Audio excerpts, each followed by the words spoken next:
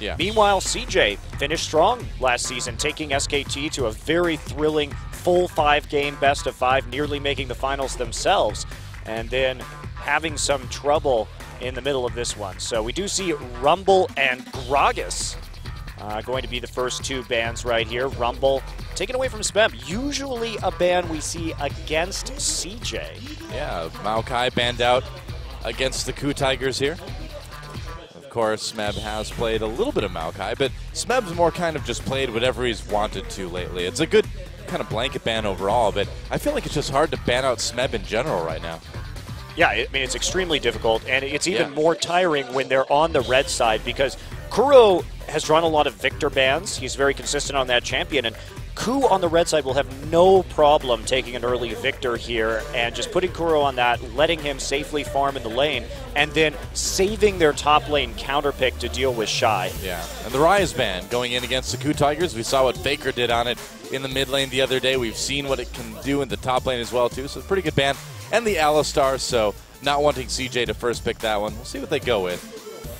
No Gragas. Do you think Sivir's going to be the uh, pickup here? Uh, it really wouldn't surprise me if we saw Sivir this early on in the game.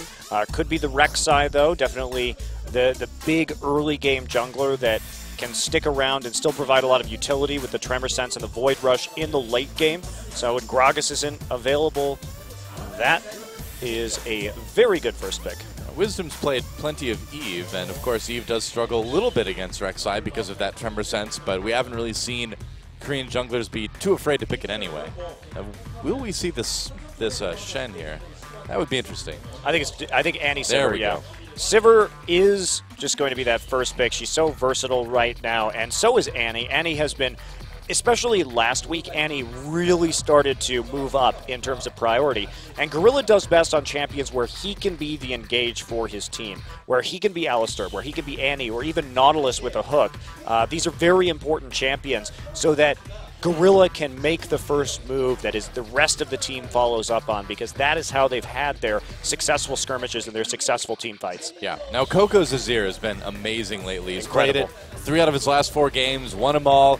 71% win rate on this champion overall for him this season.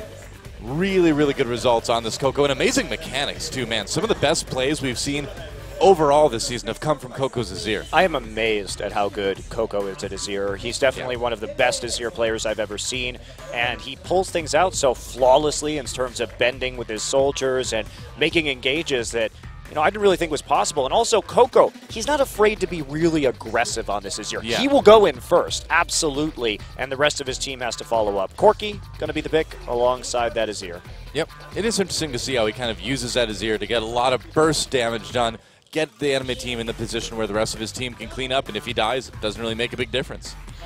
So the question is, if you know Coco's going to be going in on this Azir, it may preclude the Viktor pick because you may want something a little bit more frontliney to deal with the Azir. Could see the Ekko come in again. Okay, yeah.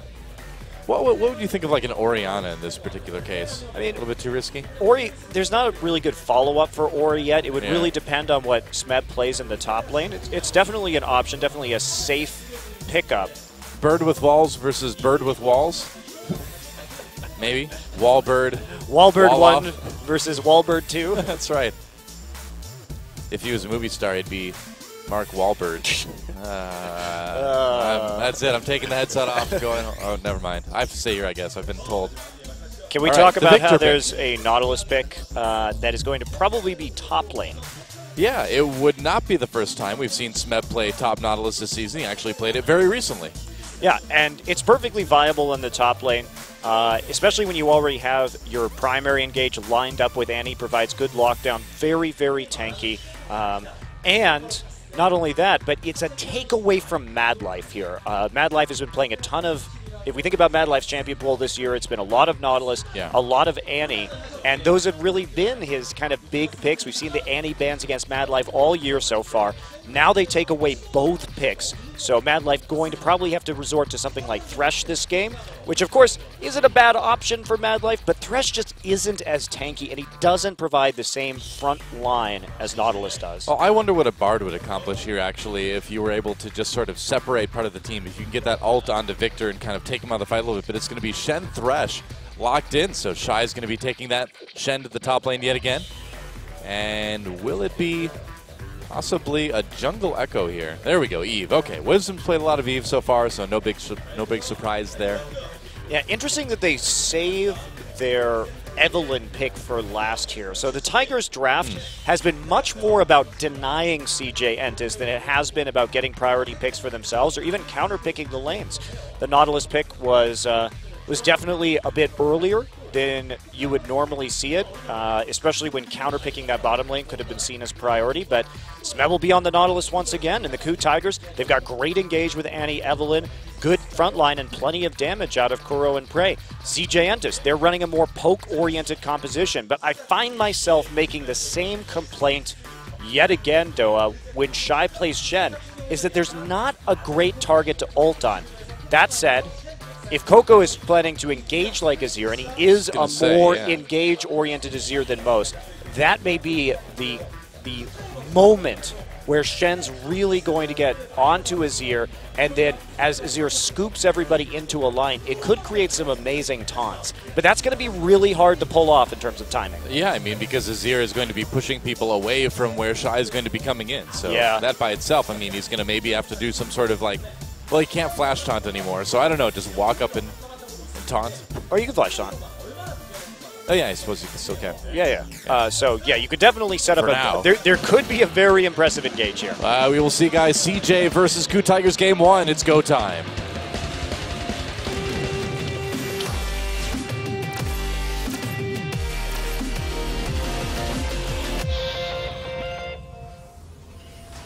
All right, here we go. CJ Entus versus the KOO Tigers in our first game of our first week of our second round of Champion Summer here on OGN. Now, last time out, CJ was able to win it in a very close 2-1. CJ really coming into this match with the momentum, though. Uh, coup. Coup. Yeah. So yeah, interesting, interesting, uh, interesting composition here from CJ. I'm very curious how they're going to use it because they're really committing to the engage from Azir as being that principal tool to get these team fights started. You know, Coco, if, if you had to ask me, pick one Azir in the world to provide your primary engage, one Azir player, I would say Coco, so it's not too crazy.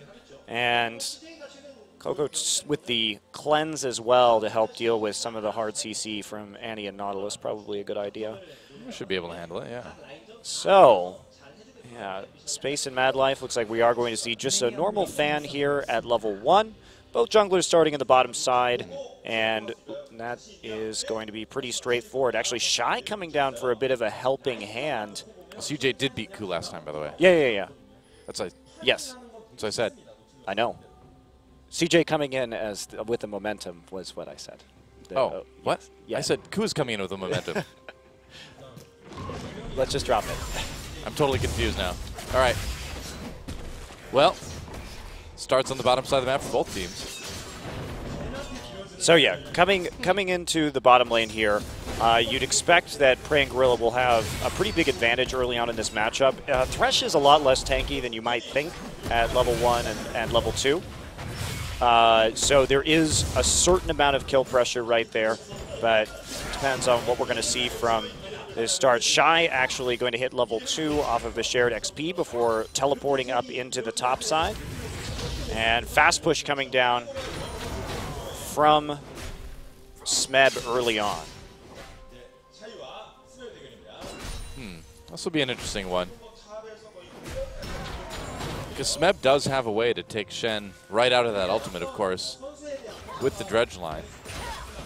Yeah, there's. With I mean, taunt. So it's it might be it might be kind of tough for Shy to get out of there if. Yeah, especially if mean, he gets followed. Yeah, absolutely. Uh, I mean, if that if he's close enough, he can use the depth charge. He's obviously got his passive as well. So there's a lot of ways for Smeb to shut down this Shen in the top side. But you know, the Shen resurgence is a very interesting phenomenon. We've only seen two players play Shen so far. It has been CuVee who took it away from CJ in their last match, and then Shy himself. And Shy going for the damage build, I think, is the right way to, to deal with this. Shen, you need to provide some sort of damage threat because being a pure tank with relatively limited CC options, especially if we compare him to a top lane Nautilus or something like that, he just doesn't have as much utility. Uh, in team fights, that is. Yeah, I of course, his global pressure is huge, uh, and that's that's really why I can see more and more teams, especially Korean teams, using him because Korea tends to be very macro focused, and having two global teleports is incredibly valuable. Yeah, I think CuVee demonstrated quite well what happens when you try for the tanky Shen right now. It does not work too well. That might have just been CuVee, but Yeah, uh, there's I there's feel a like the shy way to go is the better way. There is an element of uh, Samsung being overmatched by CJ involved in that. Uh, but yes, definitely, I agree with you that I much preferred Shy's way of playing the game. Smeb actually going back pretty early here for a second Doran's ring. And he's just going to actively push the waves, and that's one of Shen's faults. Is his lack of er, lack of wave clear before he gets Sunfire Cape is quite pronounced. So you can really put the pressure on early if you want to. Shy not doing a bad job of keeping up on CS. I mean, if anybody's going to be able to handle it, it is Shy. He is kind of, yeah, he's always been such a big Shen player. You know, I played some of the games with, with Annie with a reduced auto attack right now. It's not so bad. Well, It I mean, still it still makes me sad, but it's not so bad. she still provides you know that instant cast ranged engage, which is you know it's it's relatively unique in, re- in League of Legends that you can have that long of an instant stun. Yeah. And so I think that they could make her a melee champion, and she might still be used. Well, maybe if they give her like a uh, like big bear arms as one of her abilities or something like that, you know? Just grafts Tibbers' arms onto her. That's right. That's right. That's what we need is more human-animal hybrid experimentation. Why not? Seems pretty popular right now, you know? We've got like Nami and Azir's kind of like a bird dude. Udyr. Udyr, yeah. Er, Udyr's got like four animals, you know? I mean, nobody's using him really at the pro level at the moment, so uh, why not give the bear arms over to Annie for a little bit? That's right. Just swap abilities. I think you should take away Annie's shield and give her bear stance so she can just charge in and single target stun when she wants to, too. I think that's what Annie needs is more more stuns. That's right. Only incorporate the shield from E into it, you know, naturally, because you want her to have some survivability. So Well, Smeb here going for the deep ward against Rek'Sai. And that's he just wants to keep pushing. That's the game plan right here. Interestingly, Ku, when they played that, that mid lane Ekko, they opted to use the Ekko ult just to, to get Kuro back into lane consistently. And they've been really liking playing a high turret pressure style recently. Uh, in their last couple of matches, this game included, considering we could see Kuro playing very far up in his lane and constantly shoving the wave under the turrets. So Ku's you know, for a team that would frequently kind of lose lane or lose those early towers, they've really changed it around to a much more aggressive style that focuses on uh, a lot of chip damage in the laning phase now and more advanced warding. We also saw, of course, Wisdom getting the deep pink wards. They have deep wards on either side of the map right now. Ku is very safe to kind of do whatever they want. you do kind of wonder how much of that is influenced by the amount of solo queue these guys have been playing too. You know, where you do, you are kind of forced to be more aggressive to try to grab those early advantages as fast as possible. It's interesting. It's a, it's a very positive change for this team too. They really needed it. So, yeah, it definitely is a, a very big Oh, change. Mad Life coming up to Ward. Doesn't see them. He's got a lantern out of I there. They just want the recall. know. They didn't get baited into that. So Yeah. basically, Ku just faked a recall right there, seeing if they would actually check the tri brush. They still get something out of it. I mean, Wisdom is going to get a little bit of counter uh, counter jungling here, rather, and Prage is going to walk back out of the river. So they knew they were in the tri brush, saw it with the ward that Mad Life had placed. So they're not really going to. Not re- they're not really going to uh, do much in this situation. Yeah, pretty passive early game in general here. Just a lot of farming going on. Yeah, Shy choosing the Merc Treads just for a little bit of defense and uh, eliminating Style? some Oh. style. Yes, That's- you gotta you gotta for you. have you gotta have style for your your ninja shoes. That's right, man. Notice that Shy is not playing with Ninja Tabi because he's not a ninja. He's not a ninja. Yeah. He's like, sorry, those boots are only reserved for ninjas. I can't buy those. Nice hook. Yeah, Gorilla gets grabbed. Actually, Ambition coming over the wall, too. There's a knockup. They activate the Dragon, which pushes Gorilla back into the pit further. This is going to be first blood for sure. Ambition grabs it.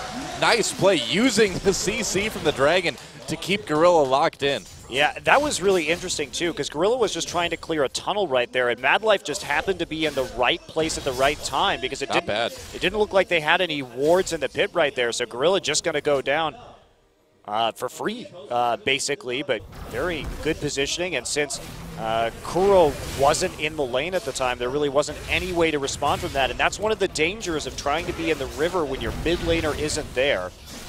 Do you open yourself up for those possibilities. So Gorilla not really respecting CJ in that particular instance. Very odd way to get first blood, actually, but nice job Yeah. by Madlife.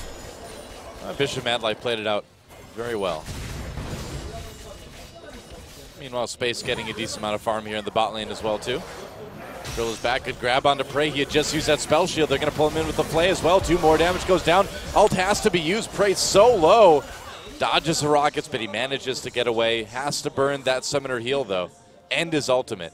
This might mean a dragon for CJ. Yeah, how hard can they push this advantage right now? Coco's back in lane. Kuro's decided to go for both of his, or I shouldn't say both because there are three, but two of his uh, his hex core upgrades right off the bat.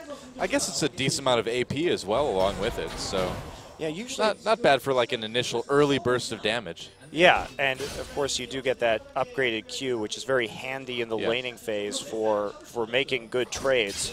Yeah, you want to avoid that damage from the Sand Soldiers. Does help.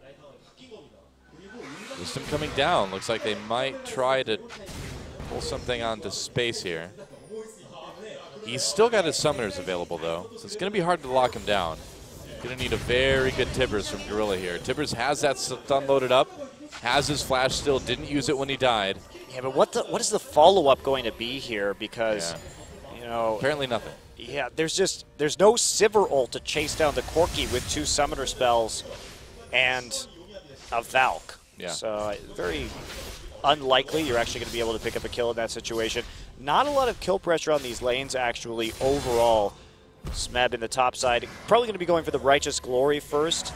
And now Ambition going to get out of the way. A little bit of a risky invade right there, but he had Mad Life to pull him out with the Lantern, so able to make it work and get those wards down. Yeah, CJ's looking pretty strong so far in the early stages of the game. A lot of it's going to come down to the dragon fights. Oh, they find Wisdom in the jungle too. Wisdom trying to get away, still has that flash to use. Oh, Madlife barely Uh-oh. misses that death sentence, and now they may be in a little bit of trouble. Ambition managing to burrow past the gravity field. Have oh, to burn. Shy came down. Yeah, have to burn that Shen ult though, and Yep. that is going to be a little bit of a hit. He's going to teleport right back into the top side. So both global globals used right there. That is not good. But you know they tried to harass Wisdom. However, Kuro was able just to walk right back into his own jungle. Now they thought they could get out with all their movement abilities and with the lantern, but not really worth it at all. And a, a bit of an overextension there from CJ cost them some pretty important ults and summoners.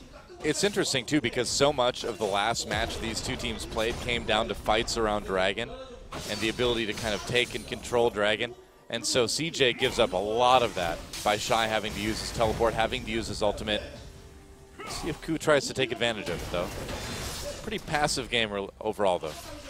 Yeah, it, I mean, it has been. It's been a every Oh. death so far has been a, a vision play around the ward. There's the flash Smeb. hook. Now they grab him. Coco just pushes him away, but the ult comes in from Smeb anyway. Gets low, nearly taken out by that ultimate from Viktor. Didn't quite get it. Ambition getting chased, but he'll be able to burrow his way out of danger there. Yeah, nice roam from the top side. Didn't expect uh, Nautilus to come up there. And That was enabled by the teleport play that was made earlier on. Of course, with uh, Shy going out of lane, Smeb was able to push up and then open up the opportunity for him to roam into the mid lane without really losing all that much in terms of experience or creeps. So creative play there from Smeb, and they actually get both summoners out of Coco in that instance. So he may be targeted again, especially with this Annie on the map, making it very difficult for Coco to escape from future situations. Yeah, Looks like they're going to go for the Dragon. All of this certainly leading up to what should be a pretty comfortable dragon for the Ku Tigers. There's just too much down on the side of CJ. Too many ults not available, teleport not available. They may try to steal it anyway, though. And there we we'll go, see. Sivir ult. Wow, right onto Coco. They just evaporate him. Meanwhile, CJ turns onto the Dragon for a moment before trying to escape. Two Tigers should still be able to claim it. They will. Uh, Coco just got a little bit too close, and they were able to blow him up with a combination of Tibbers and a few other hits from the KOO Tigers. And I love that commitment to the engage from Ku. Just such a meticulous engage right there, going all in, using the flashes to make sure they could jump on Coco and safely secure the kill onto the dragon. Kill goes over to Wisdom, and that's going to even us up in terms of gold. But, uh, you know, they use summoners for it, so there is going to be counterplay available from CJ Entus. But, you know, they may not be able to find much with it right here. Yeah. Um, the objectives still should be pretty safe, and as long as KOO doesn't play too far forward, you know, they shouldn't be ganked very easily. Yeah, they have great wave clear. So Yeah. even though Shy has his ult back up right now and they may find some room to make a play, uh, they, it's going to be really hard for them to take a turret because they're just never going to have the minion waves there unless they attack at exactly the right time. Of course, Viktor and Sivir very good at making sure that pressure doesn't ever hit the tower. And you know, look at that, just a little bit of damage on the mid lane, more on the top side tower than anything else as Kuro goes and snags another blue. Yep, back to a bit of a farming game. But those towers starting to get just barely chipped away a little bit. A little bit on both sides, actually. And CS is about even. A little bit of a lead for CJ in all their lanes right now. But not a ton. CJ has very good poke right now, and even with those little leads, now they're going to hit the Trinity Force. They have the Azir, so very good poke to make sure that people are removed from the areas around the Dragon Pit. And can they get this next objective is going to be the real key because they should be the stronger team right now. Pray not get at that Infinity Edge. And Kuro looks like he's going to be building an Abyssal Scepter, which is probably a good idea considering that he is really the sitting duck against Coco in space. He's going to be the one that's targeted in these team fights because PraY's going to have that spell shield. And here we Oh, go ult again. activated. They drop the Tibbers right onto Ambition. Ambition turns around, though. Madlife drops that box. They try to get a knocked up, but goodbye, Ambition. Goodbye, Gorilla as well. Two kills on each side. Shy comes down with the teleport. Oh, they got the ult onto Space. Space in a little bit of trouble. Has to Valkyrie turns around, and Smeb goes down. Coco with a kill onto him, and CJ taking this fight. Kuro gets taken out after a death sentence from Madlife. One kill in the end, a final parting blow from Kuro, and it's a near double ace, but Shy comes out of it. See, he was very ninja there. He just like stayed out of it. He's like, nobody sees me, I can live. I was going to say he was very Highlander because there could be only one. I guess so. Depends on how you look at it, I suppose. gets all the buffs concentrated onto him with that double kill at the end. So let's take a look at this setup. So they're going to be, Ku is going to be the proactive team in terms of going after this gank. Gorilla burns that ultimate early, goes down as expected. So support for support traded right there. Fast fingers from Shy. Now Kuro a little late to this fight. Had he been about a second earlier, everyone on CJ would have been lined up for a near perfect Chaos Storm. Can't get that same hit though, and then Coco goes in Whoa. afterwards with the shield on him in order to actually just finish up that kill right there. Very interesting play, but he he went all in at the right time to keep himself alive. Madlife did die to the Hextech core upgrade from the Death Ray on Viktor. Well, in the end, gold lead a little bit in CJ's favor right now after that one, but not too much. Still a very close game. The question is, you know, will CJ be able to get some objectives out of this? Gorilla coming down. He's got the stun with the Q. Shy going to be able to just crab walk his way out of there. Yeah, they want this turret right now. They don't really think they're going to be able to kill Shy at this stage, especially with, uh, you know, an Annie, uh, Evelynn, and a Nautilus. Yeah. Not the kill pressure there, but they do get that turret, and they've been working on that turret, getting that chip damage the entire game so far, starting to come through. But on the other side of the map, Space will answer with that Trinity Force Corki. And that's exactly what the KOO Tigers needed right now as well, too, to just kind of stay in the game, get a little bit more map pressure on. Tying up the turrets. About a minute till the next dragon, and we'll see if KOO can take that one. So Wisdom, though, he's got the the Aegis right now, and CJ's composition is pretty darn vulnerable to MR stacking. Uh, that Corki and the Azir, and while Shy probably will be building Trinity Force, he usually goes uh, Cowl into Phage or Phage into Cowl right after his Sunfire. We think we can assume that he's going to be building that item, so they do have a bit of attack damage with the Sheen. You'd think so. CJ moving up. They want to take this mid lane turret. Smeb coming down. Doesn't have that teleport. It's going to take a while. Death sentence onto Kuro, but no follow up. Except for a rocket from space. Yeah, The player space, not the not the place space. Space rockets would be pretty cool though. well, yeah, that's where rockets Orbital belong, lasers. right? Well, generally, yeah. I think so. Quite the political statement, Monty. oh, Wisdom gets grabbed. He's okay for now. And they think about coming in, but both teams playing it pretty tentatively right now. Yeah, Shy with the double global, so he's going to be able to get some pressure down on the top side. So Ku really has to commit to pushing down this mid lane turret right now. Uh-oh, Coco's uh, we've doing his Coco before. thing. Yeah, we've seen Coco make some pretty amazing plays out of the Raptor pit, which seems appropriate with Azir. KOO Tigers maneuvering down to try to maybe put some pressure onto this dragon. Fight on their terms. They're going to go ahead and activate it. They've got the speed shrine. And can CJ contest this? We'll see. Dragon going down very quickly. Nice zoning from Kuro. They may come in here. Ambition comes in to try and take it too late. Ku's already got it. Ambition get take, gets taken out as well. Smeb grab by the Descendants. So the Ku Tigers have a pretty good angle on this fight. Actually, wow, Coco managed to get out of it though. Still alive right now. Shy gets in the back lines, gets a nice, nice taunt off. Shy with the kill. There's one for Coco as well. CJ turning that one around. Coco just barely able to get away from certain death. And then CJ turns around. Shy had a great taunt. And he's not done yet. Trying to intercept Gorilla. And they get him. Goodbye. Wow. CJ with some great team fighting today. yeah, this is uh, this is a very messy team fight, at least at the start. But then when we see what happens with Coco's Azir, he really comes in and makes a very big difference with his committed engage. In fact, actually managing to get out of that one with the help of his summoner spells as well. And Shy's ult, pretty darn convincing too, to uh, get into the fight as Ambition's going down. Barely actually managed to make the TP in time before Ambition died, but that's going to be a very nice fight by CJ Entus, and they're coming out with a big lead. Yeah, that's going to go ahead and give them a lead in turrets by three right now. Pretty amazing. Yeah, a- That was so fast, too. Yeah. Blowing open that turret lead. Yeah, this is uh, this is going to be CJ and their power spike. They want to fight with that Corki right now. The big problem is that Ku still has all of the dragons, and this is a team composition that I think is going to scale a little bit better. How are you going to kill this Nautilus in the late game if you're CJ Entus once he really starts to get tanky? Because remember, he started with a with the Righteous Glory, which you know gives him some decent stats, but is by no means an item like a Frozen Heart or a Banshee's Veil that is really going to make him very damage resistant. I think the bigger question is, is Smeb going to be there in team fights? I mean, that's the tricky part. You've got Shy, who's so mobile as far as his double globals go.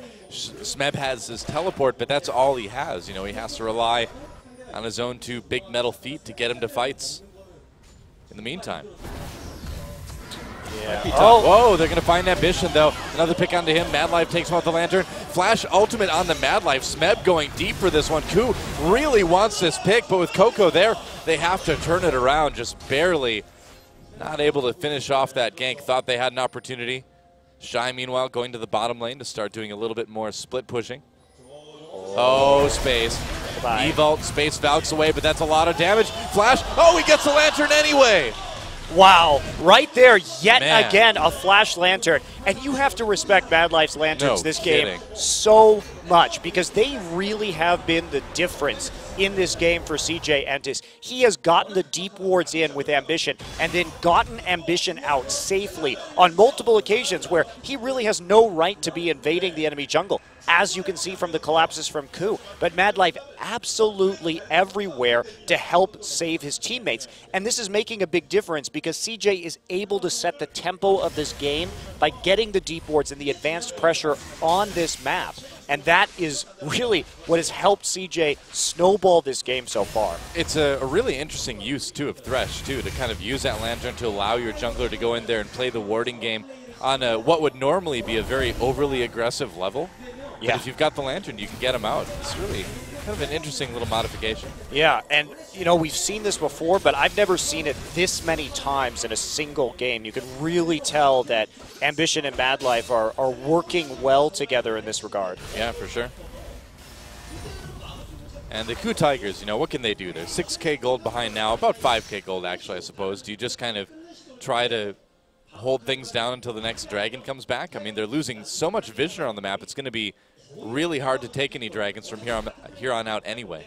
Yeah, but since you already have the first two, you're not really that concerned with, uh, you know, CJ getting one or two right now. if you can play back, get a couple more turrets, then you're within striking distance. And KOO, they've got a lot of damage on this composition.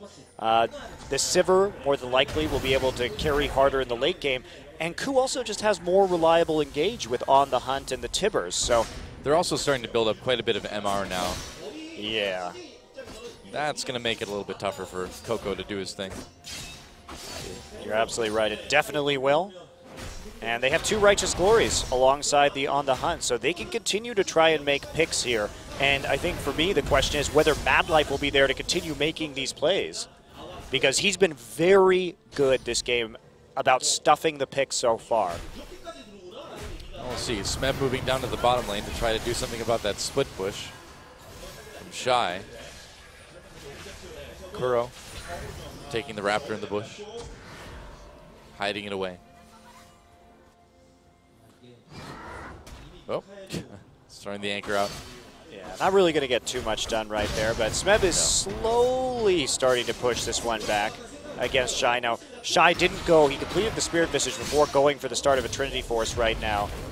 And now they're going to try and collapse onto Smeb. And, uh, Oh, Smeb's Smeb's got big TP. trouble. Yeah, Yep. he's fine. Has to teleport. Is the taunt cooldown back? No, just barely. Gets out in time.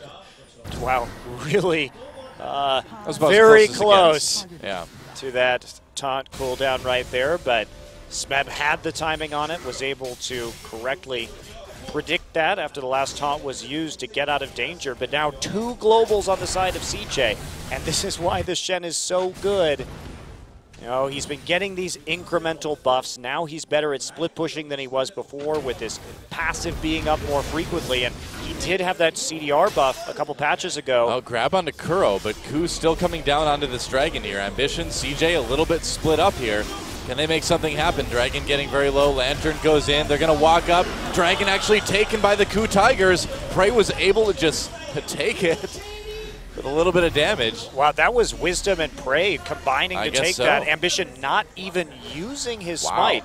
And CJ couldn't find the engage there either. KOO gets away with murder a little bit, just kidding. swooping in. When Shy has those two globals up, uh, he uses he used one of them, but just couldn't get in. Wisdom takes the blue buff as well. That's pretty important for, for KOO to get that three Dragon advantage. That's single-handedly kind Yeah. of keeping them in this game right now.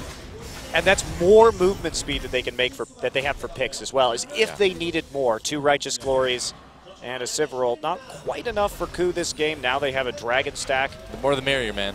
The more speed, the merrier. That's right. Just need Zilean to speed everybody up too. Where's Rammus? Throw a mid Karma in there. Yeah, Jayce Gates. that's right. We haven't seen new Jayce yet here in Korea. I'm a bit sad about that. I'm a bit surprised because Coco has always been such a big Jayce player, even this season. Yeah. But with the way he's been playing in Azir, I can't really blame him, I guess. if Yeah. Azir is open, you should probably take it right now. Yeah, definitely a more safe champion too in Yeah. most traditional matchups. And of Right course, now, yeah. now we see the Trinity Force beginning. For Shy, always starting, of course, with that Phage, and then moving on from there. They can't, KOO can't really make picks onto Shen, though, which is a big problem in this game because they can't allocate enough damage to actually take out the Shen. So stopping him has been a bit problematic. Well, his split push is going to be extremely strong whenever Smeb's teleport isn't up, too, because, yeah, Smeb has to go up and defend it, but then Shy has the ability to make most fights a 5v4, depending on if everybody mates up. At least Smeb has some wave clear. You know, he can push the lane back fairly easily. That is the nice thing about the Nautilus is that you can just spam the Riptide. And even though this Shen has this Sunfire Cape, you're still going to have that wave clear there. Now we see a potential flank coming in from Ambition, but KOO wisely just backing away. CJ continues to move that ward line forward, looking really good for them so far. They've done a great job of capitalizing on their power spike with the Corki. And now, huh. can they close the game out? Certainly they have a, a very respectable lead. KOO Tigers trying to find an opportunity to hide in a brush, maybe for a pick here. Got the pink ward. Oh, it's going to be Baron from CJ, though. That seems a bit brave, as it will be more or less spotted. Yeah, they yeah, definitely they see know. this. They now, know. how much is this going to hurt CJ? They're going to come around. Madlife going to die instantly. Yeah, Madlife, though, allowing his team to take that Baron, but at what cost? Here we go. Shy comes in. Tibbers' pushed away, though. Kuro getting a little bit of damage done. Coco has used that Emperor's Divide already, so that's out of the way. If KOO can catch up, it could be bad. Wisdom coming in. Doesn't have his ult, though. Uh, space, space, a little bit on his own. This there's a be, lantern. Oh, he'll get back. Oh, there's no lantern. Madlife is dead. Yeah, that's true. It looks like CJ's okay either way, though. So a bit of a risk, but giving up Madlife for Baron, not bad. Great disengage from CJ, however. Uh, they came in there, and then the Azir wall was used instantly while Madlife bought them time. And then they clogged the choke with Corki Rockets and Sand Soldiers just so they could disengage in a very good way. Now Shy going to go back, and you know the KOO Tigers, they don't really have anything to deal with this. The siege from CJ still extremely strong. Oh. And even with that wave clear, these super minion waves with the Azir are going to be difficult. Now they're just going to actually teleport in. Huh.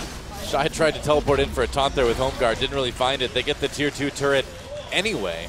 Nice port, though, Shy. Yeah. He knows his ult's going to be back up by the next time he needs it to split push, so why not go ahead, keep that minion alive in front of the turret for just a little bit longer and allow them to successfully siege and snowball this game. CJ's playing very well.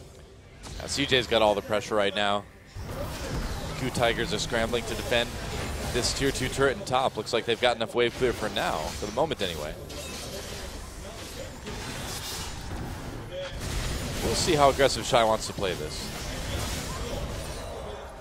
A little bit of damage done to that turret, but not a whole lot. Meanwhile, a big line, a big uh, crowd building up in bot lane. Yeah, somebody's gonna have to go clear that. Smeb has TP, but they nope. They're finally gonna go do it after the tier two goes down. This probably means they can't defend the tier two in the top side either. Pretty big risk here for KOO to continue to position in the defense of a tier two tower when their top laners on the bottom. Yeah, they just have to give this up. It's, it's too risky. Yeah, there it goes. Coco takes out the turret.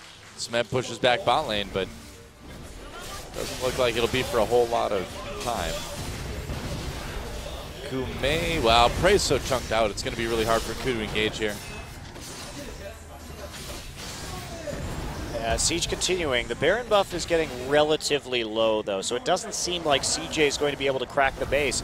And again, remember their their form of engage is really this Azir ult, and if he gets under the turret, he's going to start to take a lot of damage. So that's not necessarily the best way to deal with this. And the wave clear is good enough that there's not really a whole lot of options here. So I'm going to get grabbed, but... Yeah, played in. Madlife uses the box, but Smeb able to repel to the wall and get away. wave clear still around also. So yeah, CJ, they just don't have the tools necessary. They have that great siege and they have that great poke, but it's getting countered by the Tigers' just presence in terms of the wave clear. And CJ not yet ahead enough that they're going to be able to dive, particularly with the composition that they have. Yeah, Ambition doing a good job of clearing out the enemy jungle, though. Not really leaving the KOO Tigers with much at all. KOO Tigers are just going to bull rush this mid lane, it looks like. Dragon is up. And if they could grab their fourth, again, you know, it feels like these Dragons are keeping the game while they jump onto Wisdom. Ambition knocking him up. Oh, they pull him back in again. Ambition getting low yet again. Evolt uses. Shy tries to come to the back line. Space. They have the Chaos Storm over top of him. A kill comes in for the KOO Tigers. PraY picks up the first one on Ambition. Scuttle Crab taken by the KOO Tigers. And Coco has a lot of poke.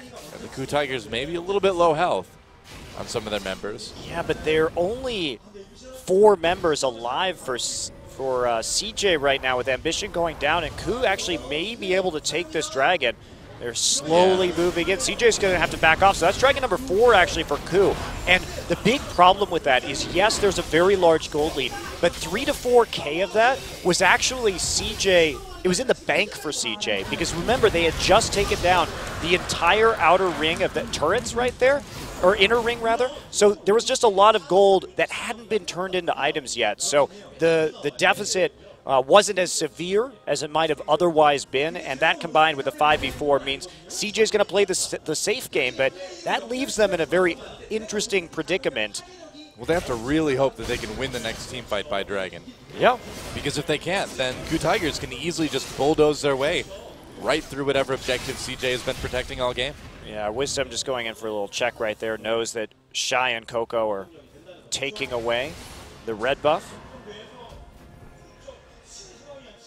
Shy's look good again on this Shen. 405 has been making a difference in the split push in team fights, but they just haven't been able to control the Dragon.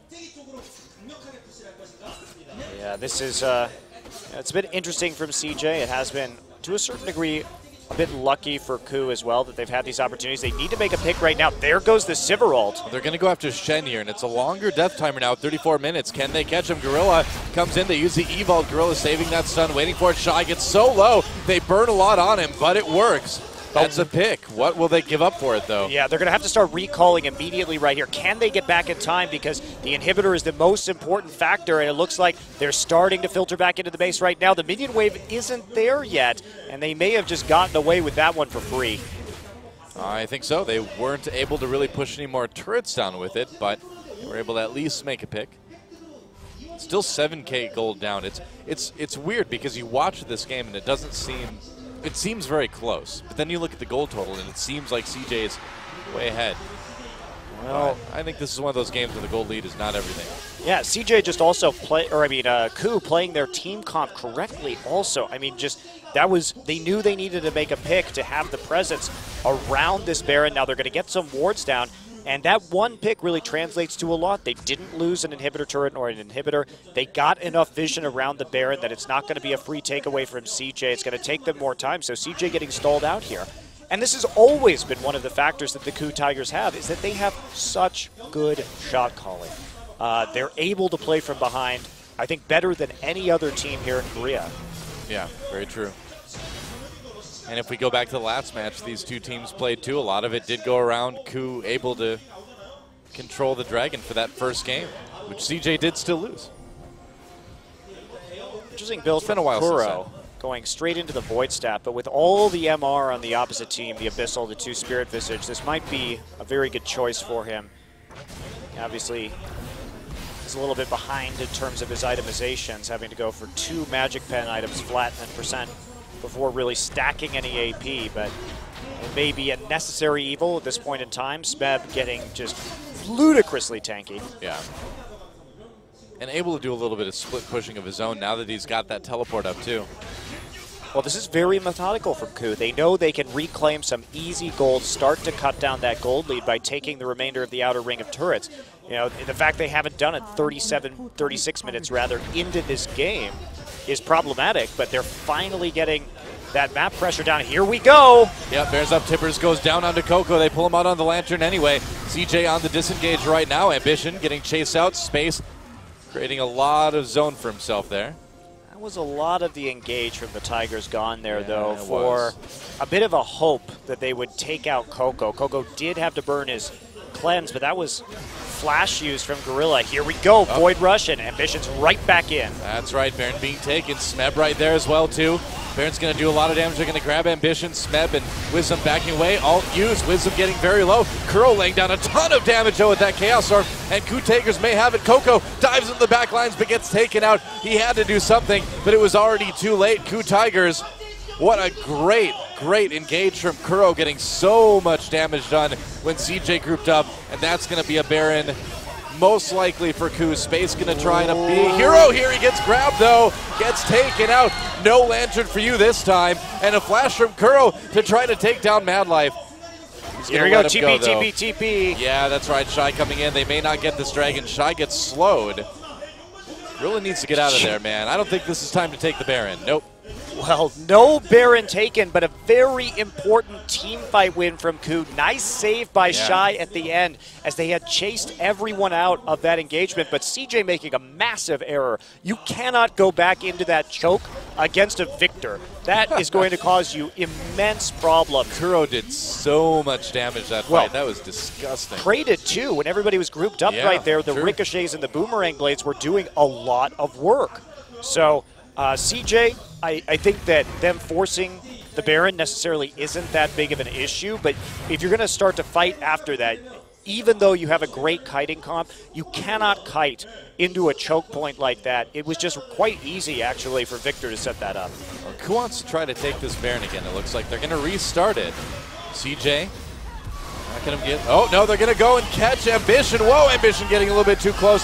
Nice turnaround by the KOO Tigers. They use that Chaos Storm, though. They're going to turn back on the Baron. With no jungler, though, CJ's going to have to let this one go. They're going to go down and take this dragon. But KOO could chase. Can they actually get there to take this fifth dragon? Oh, yes, they can, That Noah. There's no smite on the on CJ Entus right Oh, now. boy. This has been such a beautiful display of the KOO Tigers playing to their win conditions because they kept making picks. They kept using their speed advantage. They kept going after it, forcing objectives, and then turning this game around by forcing CJ to play around them. Wow, CJ needs to do something desperate here. Otherwise, this is going to be a Baron and five dragons. It is for the KOO Tigers. A huge, huge power play for them for the next few minutes of the game. Now, what can they get out of it? Still down three to six on turrets. But man, with a buff like this, you'd have to think they can do something with it. Yeah, they can. And KOO, they've just been, been doing work because they're not they're they're not afraid to make the risky, aggressive plays right now because Yeah. that's the only way they can get back into the game. But CJ with a late setup after losing that first Baron fight, not being able to get the position on it once again, forces Ambition to do a little bit of blind face checking. And in a heartbeat, the KOO again just committing to the team fight instantly and then making the plays to follow up. Well, this, again, you know, this is just one of those games where the gold lead just doesn't matter, man. Remember, KOO Tigers were 7,000 gold behind not too long ago. They're actually up to 9,000, I believe, at the peak. Wow, yeah. in this game. Uh, that was turned around pretty fast because that was when they won the fight at the Dragon because there was so much unused gold on Right. CJ. Either way, it just shows to, it just goes to show in a close game like this, one small mistake, one little positioning error by CJ, and now look what happens. They grab ambition again. Either way, they're going to get this tier two, and they're not going to stop there. Shy recalling now to get back to help his team, and they need it. Yeah, they're just going to keep on pushing through right now. Not Yeah. really anything that can be done to stop them with a Baron buff and a Fifth Dragon. That's guaranteed a lost fight for CJ, barring some miracle. You know, two tigers. Oh, You know, tigers are, are a fearsome animal, but uh, as we see PraY get chunked out, KOO Tigers is looking more like a rhinoceros or maybe like a stampeding elephant at the moment. well, you Just do. got to get out of the way. You know, you know the the most dangerous thing, you know, besides a tiger, of course, is a wounded tiger because That's they fight to the bitter end. That is true. You don't want to corner a wounded tiger, otherwise this is what happens. Yeah, that is uh, that is definitely what KOO is showing us this game. They have Maybe. been very tenacious. Maybe a bit of a hippopotamus as well. One of the most dangerous animals in the world. Here we Oh, go. There's Sivir activating that ult like a stampeding hippopotamus. KOO Tiger come in. Space has a decent zone. Smeb, though, getting into the back lines. Kuro able to get the kill onto Ambition here. Coco manages to jump behind Q Tigers, and he is starting to do some serious work on this Azir. PraY still full health, though. Everybody avoiding. Uh, wow, Coco with the double kill. Coco with the triple kill, and he's not done yet. No, never mind, he is done. PraY scuttle crabbing it up, and Shy comes in. Double kill for PraY, but he's got to get out of there. Smeb teleporting. Now it's a 1v2. Tank wars are back, but Space may be able to turn the tides. This fight is still going, and Space, oh no, Space, he's got to get out of there. Oh, they barely take him down, and that's an ace now for CJ. KOO Tigers perhaps overextending just a little bit.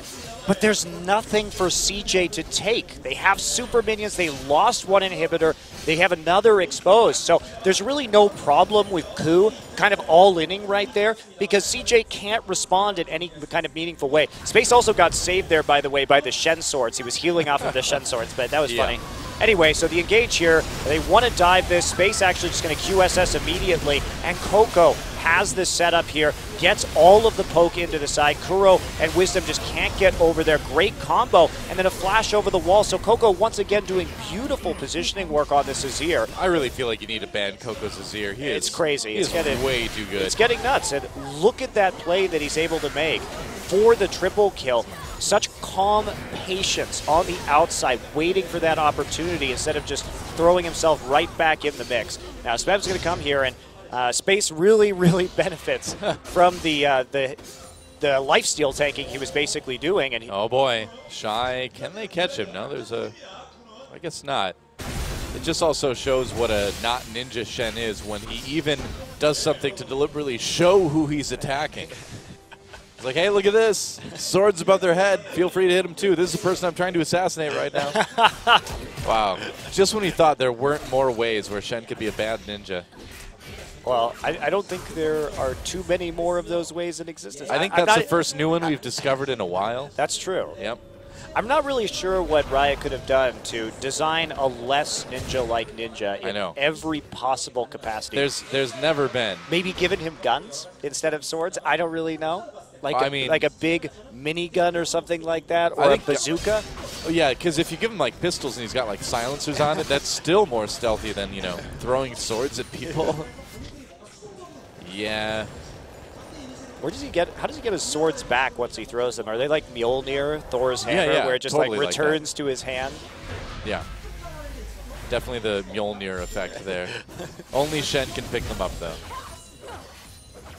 Captain America, a little bit, a little bit here and there. Was the Mjolnir effect the name of one of your bands in college too?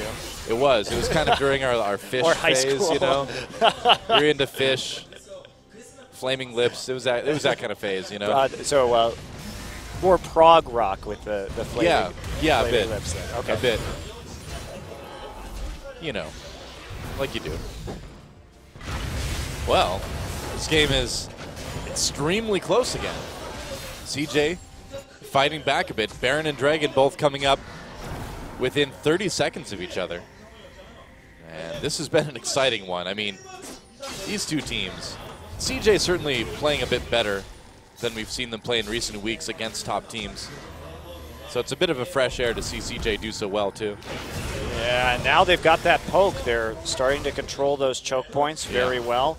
They, this Dragon's live, but they actually have to start it if they're going to be a threat right here. Notice that Wisdom's already set up for the flank. Here we go. He's coming in. Ult onto Coco already, and Wisdom also as well. They drop Tibbers as well. Coco taken out so fast, and can CJ win a fight without the Azir? Doesn't look like it. KOO Tigers just massacres CJ Entus. That was Operation Kill Coco, and it went off without a hitch. Fifth Dragon again. Let's just waltz up and take a Baron as well. Well, and this is one of the They can problems, just end, actually, can't they? Yeah, this is one of the Yeah. problems when you reach six items on a lot of these champions. Is there were no pink wards for CJ to flank. They Yep. needed a pink ward on their flank so they could see that Wisdom's coming in. But what a great engage there. No kidding. That was just like, let's put everything onto Coco.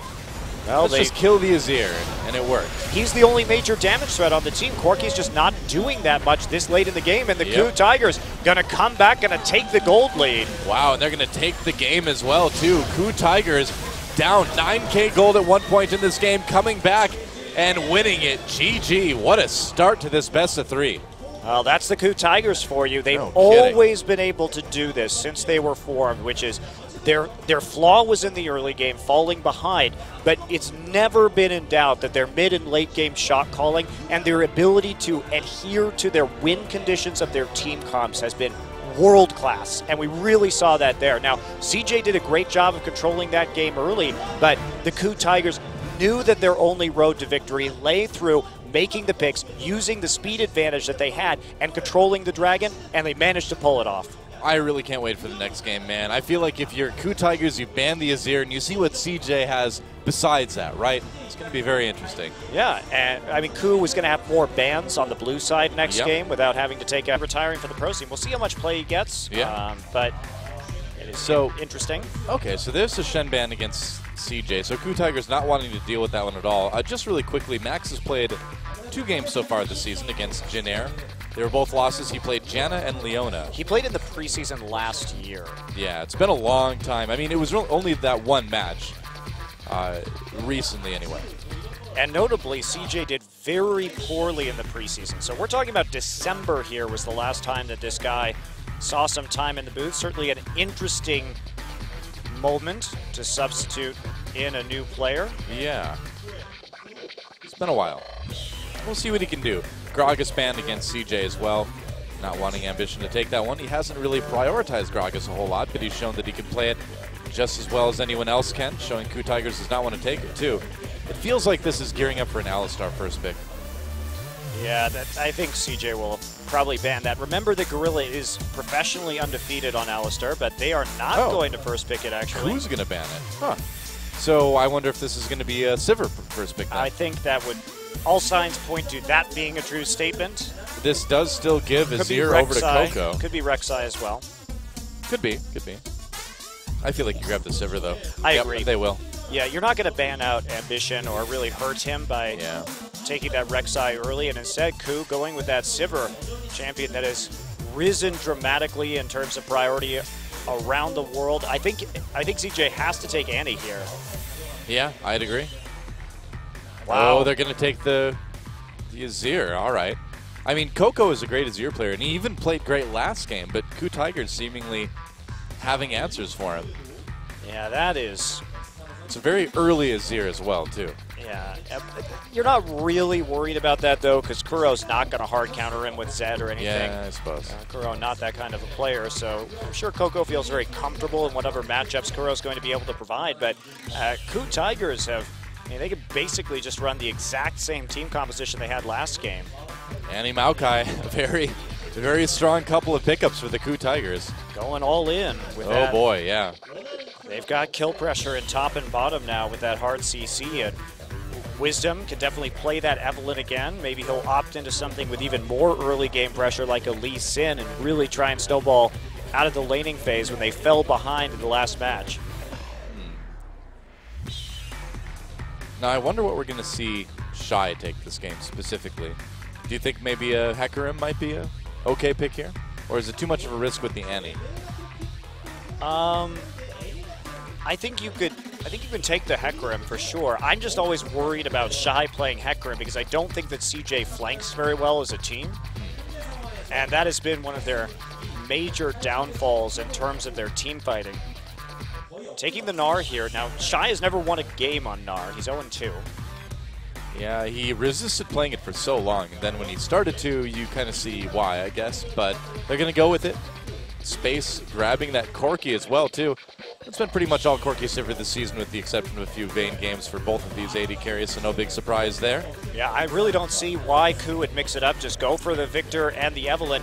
Basically, you have an even better version of the composition that you played last game. Seriously. Uh, the only Man. substitution being like the, the Maokai instead of the Nautilus, but Maokai provides more primary engage. So Yeah. You're still going to itemize early with the Righteous Glory, and that means that KOO is going to have even more reliable engage. They're not even going to be dependent on a skill shot like a hook now. It's just point and click, twisted advance, and that's it. Man, I almost I almost feel like you pick something like Nami here just to get some serious disengage. Janna, I suppose, as yeah. well, too. Leona, I mean, Max's two games in the booth ever are Janna Leona. And But he- I feel like out of the two, I would go with Janna here. Yeah, he does play a lot of Leona and solo queue also. So, but the well, the Black Shield may be very effective if they can get it on the right target to deal with the crowd control from Maokai or Annie. But that's still You can't. It's hard to black shield someone that's been insta stunned though. yeah. You you have to get that Yeah. that stun up there first. But it's another shield for the Azir. But That is true. CJ, they just don't have primary engage again. The only engage they have is like landing a binding or a Flash Morgana ult or Coco pulling off some crazy Azir ults again. And as good as Coco is, that's just not a reliable form of engage. Well, with the I've- entire last game too being like Coco Azir killing practice 101, like KOO should come into this game with a pretty good plan of how to take down this Azir. They can pretty much do the exact same thing they did in that last team fight last game. Except it's going to work even better. Yeah, because you've got the Maokai now. Beca- yeah, and because now CJ doesn't have two globals to respond to the picks. Yeah. Basically, CJ always had another shot to turn a pick into a 5v5 or a 5v4, something like that, by having the Shen with the teleport and with the Stand United. Now you only have one of those things, and you're running a Gnar where you need to manage your rage bar to turn into Mega Gnar to actually get to those fights and make a big difference in time. And guess what? The KOO Tigers is not going to play around your Gnar bar while they're engaging on you with, again, two glories and a Sivir ultimate. I, there's so many timing windows for KOO to exploit here. I am very worried for CJ. A pretty massive risk for CJ compositionally, and they need to win this one if they want to tie it up and force a game three. Can KOO Tigers take the 2 0? It's time to get in the game and find out.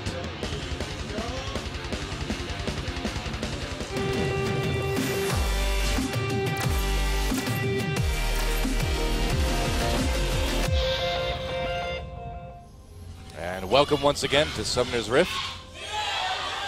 Big cheer from the CJ fans in game number two. KOO Tigers trying to match it. I love it. I love it when we have the fan battles going. Always quite Good stuff. entertaining, and everybody's pretty pumped up after that first game. And why wouldn't you be? It was Yeah. very exciting.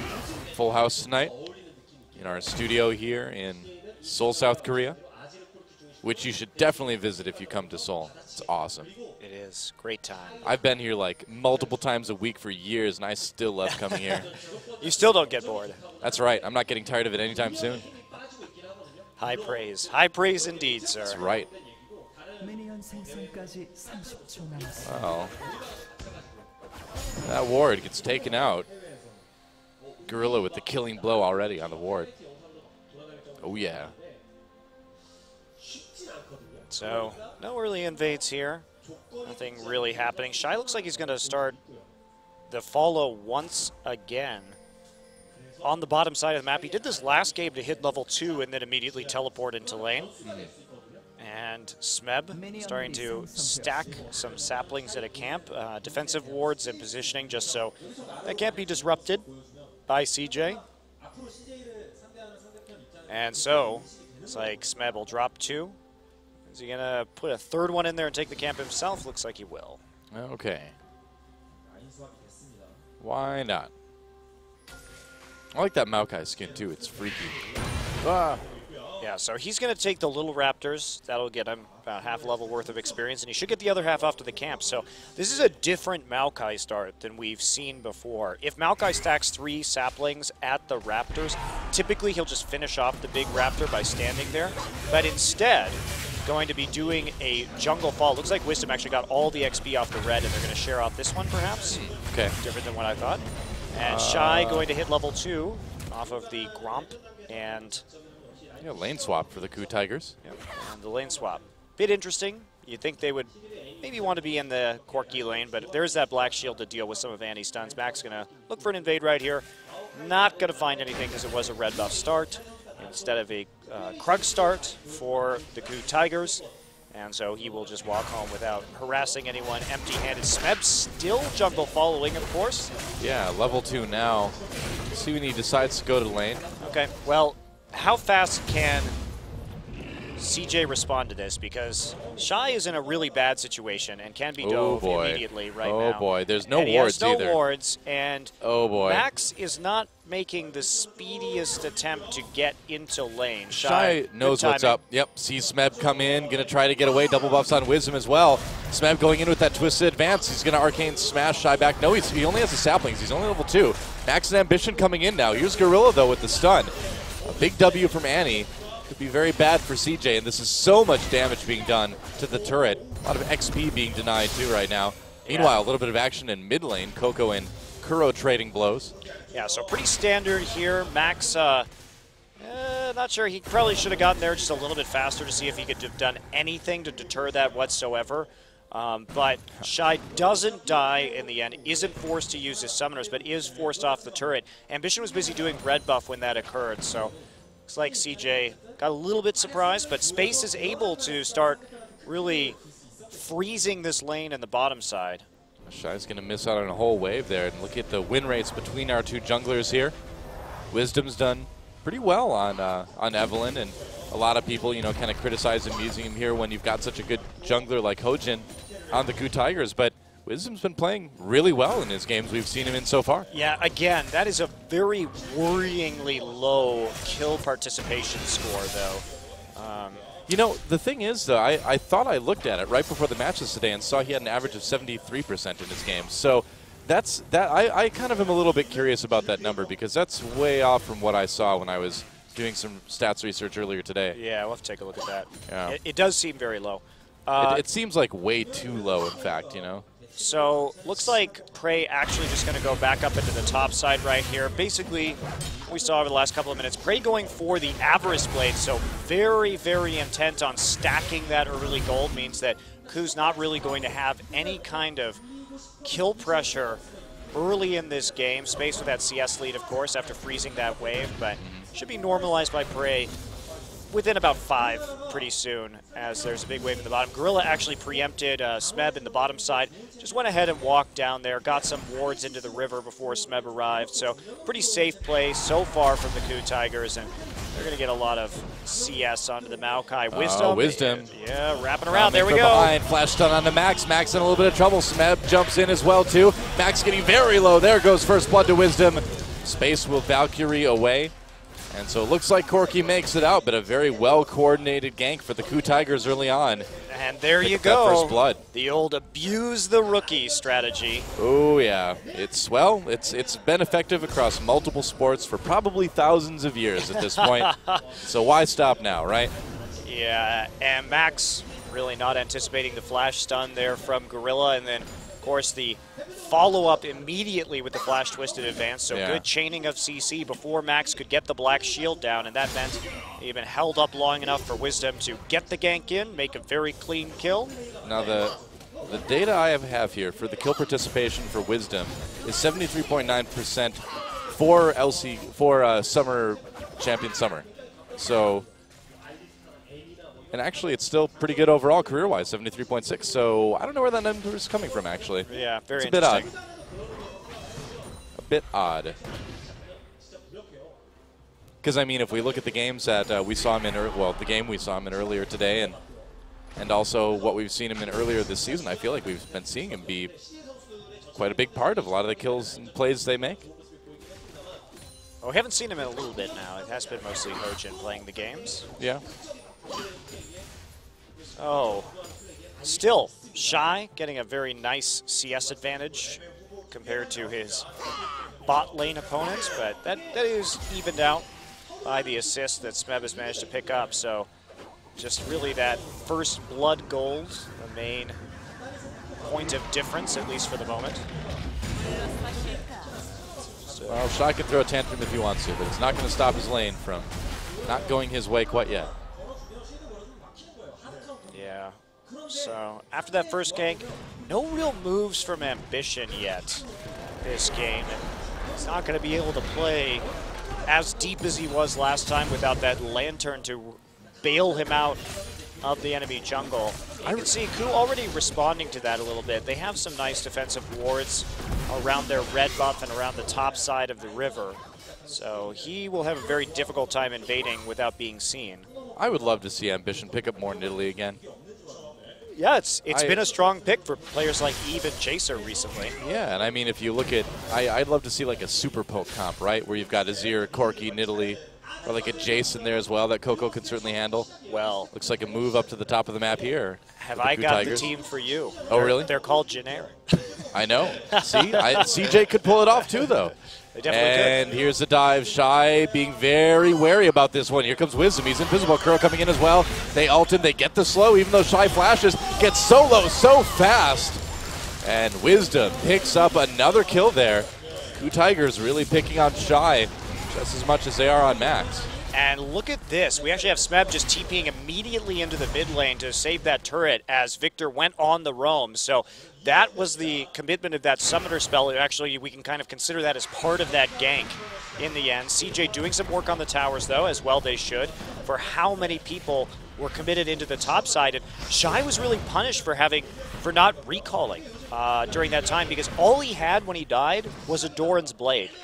He had stacked Wow. up a huge amount of gold, and that's he died very fast because he had no tank stats whatsoever. Gorilla here, Space has that sheen already, hence the fast push down onto the tower and the large chunk of HP taken away from it. You know, not a, a, a nice thing for CJ, but not the biggest concern for KOO. I mean, we saw them down quite a few turrets last game. They were still able to come back and take it. Oh, another gank onto Shy. He has no flash this time. Arcane Smash tries to hop out. There's a flash from Wisdom. They really want this one, and they will get it with the dive. Wisdom. Oh, he's stuck around. He could have just been walking. Oh, That was- Wisdom. Oh, that was not wise, Wisdom. That was actually very, very close in terms of the next timing. He thought he had that lost. turret. He thought Yeah. he'd lost turret aggro. I thought he had too. So Yeah, it was right on the edge. It almost looked like he lost it for a second and then regained it, but he just must not have gotten out of range. yeah, that's what It was a bit odd. It, that was that was a bit odd, actually. Um, can't blame really wisdom for that particular death. It looked I blame him. it, loo- it looked like he was going to be able to get out of that one. Did end up with the trade kill though, and that means that Shy has some more money to work with right now. And of course, the kill going down onto Wisdom too, not exactly ideal in terms of snowballing the top lane because Smeb just with an assist, Shy picks up the kill. So honestly, Gold Swing kind of a bit in favor of Shy in that regard, considering he was able just to TP right back in and continue farming, didn't really lose much at all. Yeah. It was a bit rough.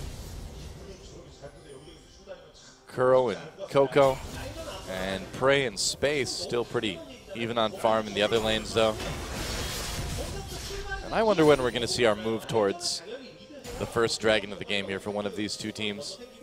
Yeah, they. No one's really had a very safe opportunity yet, and Yeah. KOO's happy with the way things are going in the lanes right now. Overall, in terms of global gold, they are expanding their lead. Most of it is on the jungler, so Wisdom continues to have to make moves to help Well- his team. He has his ult up though, and so does Gorilla. Yeah, and I feel like because he's been getting those Oh. kills, the pressure's on. Oh, he missed the Emperor's Divide, and there's a Chaos Storm. Coco really low. Wisdom comes in. Flash Tibbers. They can't quite hit him. Stun onto Max, so Max takes some damage. Ambition. Twist advance onto him, and there's a kill for Kuro, who's been wanting that for a little while. They're not done quite yet, though. Yeah. Oh, they could still. Nah, I can't quite catch Max, I suppose. Coco did not escape with a lot of health. Yeah, Coco right there, definitely escaping, using both of his summoner spells to do so, however, and a very timely spell shield from Max. But, you know, frankly, that was a really risky all in from Coco when he didn't know where Yeah. Gorilla and Wisdom were on the map, and even Smeb had already wandered down into the mid lane. So CJ playing around there without adequate vision to just be so aggressive. And I, I think that's just a, a trend that we've seen from CJ over the last couple of games is really riding a very fine line between aggression and over aggression. Last game, they got away with it thanks to Madlife's Lanterns. This game, they're getting punished. Yeah, I mean, specifically, we've seen Coco get away with a lot of things that we don't normally see Azirs get away with, and finally that time he didn't quite hit the Emperor's Divide like he wanted to, and he didn't die, but his team still suffered for it. Yeah. Bit bit rough on the mid lane all in attempt and uh, KOO just had more people there at the end of the day. Shy wasn't able to respond And Smeb has been doing a great job in both games tonight, getting ganks onto the mid lane. He's been wandering mid quite a bit. Yeah. It was really nice, too, to get that kill on Kuro as well for the KOO Tigers. Able to get him a little bit more money. Pushing the lead over Coco that much more. And I mean, to Wisdom's credit, he's gotten those kills that maybe should have gone to someone else, but he's put them to good use. You know, he's made a lot of plays in lane. Hasn't really gotten a ton of awards down in the enemy jungle until right after that last fight. But he's certainly kept the pressure on really well. Yep. And again, mid lane tower chipped out. Just a little bit. Kuro coming top side. He will get seen by a pink ward. Smeb lurking in the brush. No righteous glory yet, man. That tower is just hanging by a thread, though. And Yeah, I mean, Shy got Shy has his flash up again, but I think the KOO Tigers would be happy to get even just that. They probably could. Ambition up there now, so not for a little while anyway. Well, they can't see Wisdom anymore, so they have to play like Evelynn's there without the pink ward. They're going to go Oh, after Coco. We know where Evelynn is. There's the gravity field. They slow down Coco with it as well. Oh, goodbye. Coco, just no chance at all. I don't even know why you throw out the Emperor's Divide there. I think maybe he thought he could ca- catch Wisdom, but Well, you got to do something if you're going to die right there. I- I Without guess, summoner spells, he was a sitting duck. Kuro cleaning that one up, but Wisdom again actually getting the kill. Yeah. That's really problematic because this Evelynn is just going to be a non-carry factor in the late game. Certainly strong right now when she just has the warrior enchantment. So, uh, and not everybody has a lot of tankiness yet, especially even Shy, who just has uh, magic resist right now and no armor to deal with the the warrior enchant. But ooh, could get could get a bit dicey. It is a bit risky to give the jungler that many kills. Gorilla's going to take a little bit of damage there.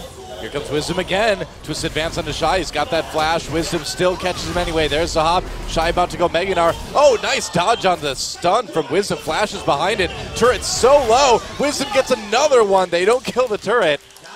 And again, yet another kill. And you know, some of these, I, I really feel it's it's not Wisdom's fault. He's just the only one who's in range. Yeah, that one especially. Honestly, Yeah. that was just a great flash to secure the kill Oh, right there. was- that was a dodging beautiful the play. dodging the stun, coming in from Shy, and Shy didn't have his ultimate in that instance. CJ is going to trade a turret for it though. They put the pressure on into the bottom lane, but they're really falling behind in terms of gold. And Smeb just keeps on cruising in this top side. Still hasn't been able to pick up any of those kills, but I mean, he's getting uh, the assist, so it's it's something, you know. and he's denying a lot of CS. Yeah. So there's there's that aspect of it as well.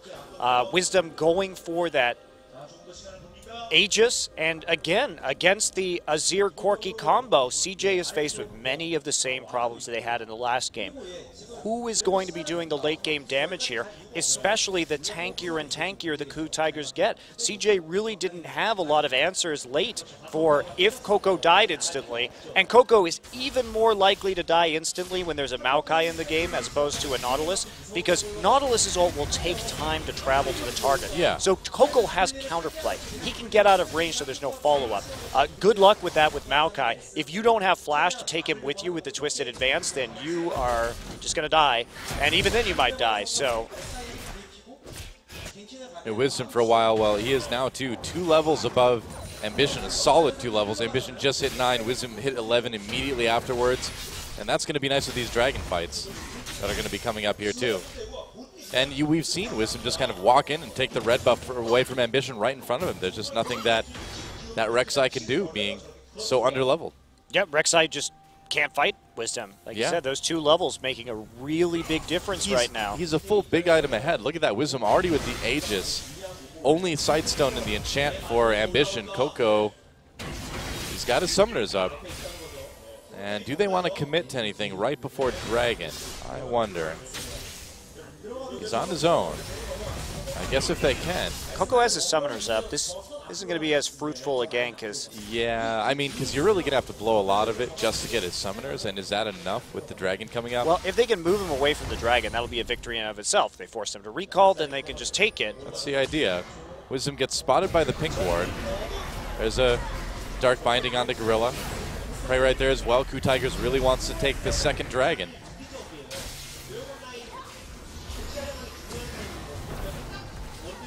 CJ's very interesting. Uh-oh. Oh, teleport coming in. Here comes Smeb coming in with those home guards. Flash twist advance onto Coco. Coco pushes back with the Emperor's Divide. PraY still picks up that first kill anyway. Oh, and he manages to die to the turret. Smeb getting very low, but they finally take the turret down and now turn on to CJ. A couple kills come in for CJ. And have they gotten enough presence here to take this dragon, perhaps? They lost their turret.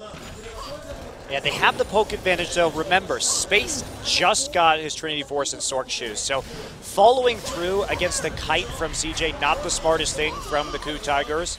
Uh, We saw Coco play out that fight really well. He waited for the twist advance to finish, pushed Smeb back under the turret, and the turret had enough health that KOO Tigers couldn't efficiently kill that and win the fight at the same time. So that is going to mean a dragon for CJ.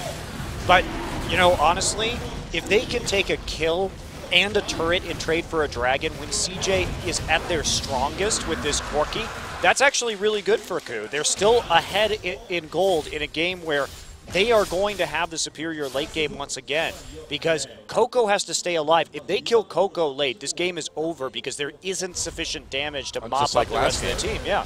just like the last game. And I was going to say, CJ is really interesting. So remember we saw the in games one and two against Najin, CJ and Najin kind of played the same compositions in both of those games, and we're seeing that a little bit here also. CJ kind of going with the Rek'Sai Azir Corki two games in a row, and and KOO and the rest of the Tigers answering with a composition that is almost identical, except slightly better than last time. And we saw this from Najin too. They lost game one against CJ, and then in game two, they managed to grab the same composition, except they switched out their jungler, getting just a slightly better one, whereas CJ's was slightly worse. And that's, I think, what we're seeing here from CJ. Same story. The difference is that KOO actually won Oh, game one. ambition getting caught here. I think they got the red buff. No, he got it. Wisdom Uh-oh. got it. Yeah, KOO may be a bit. They had to use Tibbers on a go-go here. Oh no, Kuro gets caught as well lot of trouble. Does a ton of damage though. Can they follow this up? Big out from Wisdom as well. Kills coming in for KOO, and Kuro still alive. Shy trying to make something happen. He goes down. There's a double kill for Kuro. What a turnaround and what an enormous amount of damage being dealt by this Viktor already. Kuro with a big smile on his face after that one. Guess who wasn't there? PraY was split pushing in the bottom lane. Is he going to get two turns? Well, space oh, goodbye. Oh. Wisdom having a huge game. Now, look at this positioning Wisdom got. They drew. They drew all of CJ into a cluster while they were trying to chase Kuro, Yeah. and then they got smashed by Death Ray as well as the ultimate from the Evelynn, just locking everyone up right there. Smeb managing to come down from the top side just to save Kuro in the end. That was an extremely good turnaround. It was a party in the Chaos Storm, and CJ was invited. You'll see it right here. Yeah, Kuro also dropping the Tibbers onto Coco to keep him out of the fight. Now everybody's just going to group up, and look Oh, at that. wow. They just lining up for skill shots right here. And then the stun as well from the gravity field means that there's not enough damage to actually follow up on anything. And Shy tries to pick it up, but Kuro shows up and takes him down.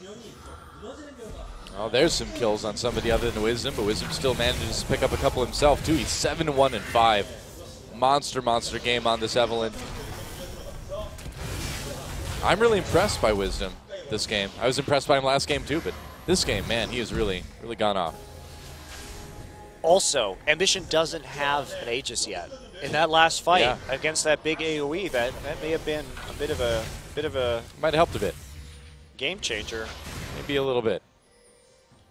CJ needs to really be careful though that they're not grouping up against this Viktor Well- though. I mean, that's the second game in a row when we've seen them kind of tunnel onto one pick and then group up and get annihilated.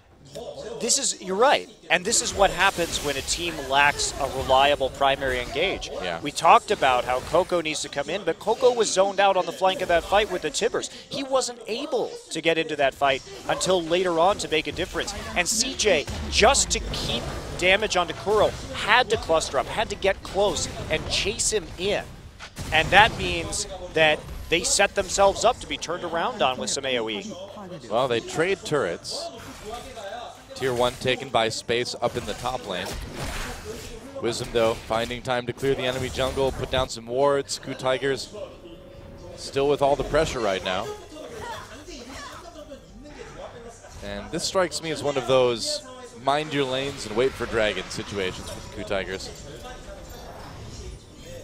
Indeed. Well, it's going to be rough from here on out. There's that massive gold lead in favor of KOO. What do you do in this situation if you're CJ? You don't have a reliable way to get back into this game. And basically, KOO can, can just engage on you whenever they feel like it. So trying to bait objectives or even make plays around this river is going oh. to be oh. very difficult. Wisdom thinking about engaging there, but deciding not to quite pull the trigger. Coco has both of his summoners up again, too, so KOO Tigers are going to need to approach this a little bit more safely.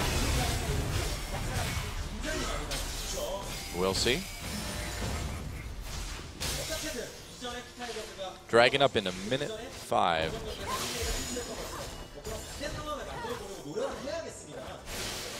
Critical hits now enhanced with explosions. You mean with lightning, sweet lightning, or the it critical looks more like hit? an critical hit. Yeah, yeah, yeah. Like, looks like an explosion. Little uh, little icon by it. That's what I think about when I think about critical hits. I don't think about you know hitting the right part. You know, the no. critical hit. It's not the. You it's not blow hitting, it all up. It's just massive explosion. Just blow it all up. Don't no precision in a critical hit. Just nuke it from orbit. It's the only way to be sure. You know. That's that's my attitude with playing Annie. Just uh -oh, TP, TP, TP. Yeah, that's right. There's a Sun Inhibition TP's coming in from uh, CJ as well, too, and all over Coco. Well, that was a catch. Space backing away. They're going to chase him as well. And Chaos Storm doing a lot to CJ yet again. Ambition goes down, and KOO Tigers all over whoever's left. Kuro just chasing down Corki. you can't hide in there. That bush is tiny. What are you thinking? Oh, Space. You joker. Well, he couldn't run away because uh, Viktor got the Q speed. He thought Kuro was a T-Rex and his vision was based on movement. It's like, if I just stop, he'll be okay. He won't see me. well, easy engage yep. for the KOO Tigers. They get on that priority target of Coco. They know who they need to kill first and how simple it will be to clean up the team fights afterwards. They stretch their lead even further. Man, Operation Get Coco has uh, been very successful two games in a row now.